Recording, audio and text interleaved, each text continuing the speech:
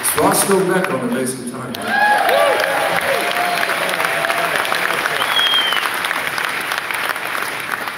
And I'm sure glad that y'all could come out.